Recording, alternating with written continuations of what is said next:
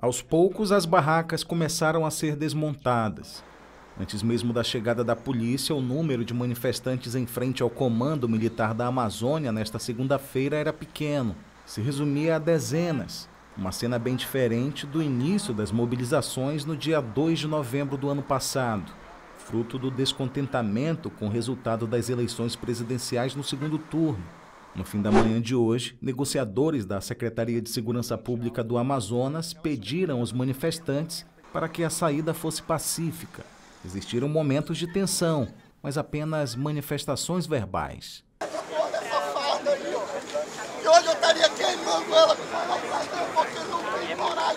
Depois das 11 horas da manhã, agentes de trânsito fecharam o fluxo de veículos na Avenida Coronel Teixeira. Militares do Comando de Policiamento Especializado da PM, Tropa de Choque, ROCAM, Guarda Municipal Armada entraram em ação, mas a atuação deles se resumiu à manutenção do cordão de isolamento. Cacetetes, escudos, armas letais e não letais que estavam com uso autorizado pela Justiça não precisaram ser utilizados. A operação de hoje atende a duas determinações na Justiça. A primeira do ministro do STF, Alexandre de Moraes, que deu 24 horas para a retirada dos acampamentos da frente dos quartéis de todo o Brasil, e uma da juíza Jaisa Frache da Justiça Federal do Amazonas, que deu prazo até às 18 horas de hoje para o cumprimento da decisão. Comandante-geral da Polícia Militar, Coronel Vinícius, e o secretário de Segurança Pública, General Mansur, acompanharam a ação de perto. Nós estamos fazendo tudo de maneira pacífica, vamos continuar fazendo isso. Temos até as 18 horas, estamos negociando. O Exército também está nos ajudando nessa negociação. Vai dar tudo dentro da normalidade. E a ideia, já falamos também com o Exército, após a retirada do pessoal, é, a, a própria, o próprio Exército vai manter, é, é, é, a, não, não vai permitir que manifestantes retornem à frente do, do quartel aqui do CMA.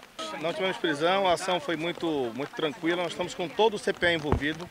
É, o batalhão de choque está envolvido, a tropa de, de, de, pronto emprego, que é a ROCAN, também já está presente. Mas o mais importante dizer é que até o momento a, a, o cumprimento da decisão judicial está sendo feito com a mais tranquilidade possível.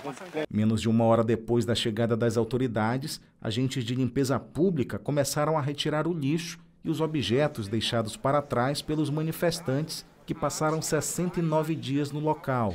Outro momento de tensão foi durante a retirada da grande bandeira erguida na frente do portão do CMA.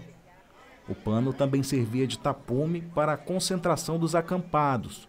Sem ele, foi possível ver que um grupo de manifestantes foi chamado por militares para dentro do Comando Militar da Amazônia. 15 minutos depois, saíram junto de um dos líderes do movimento.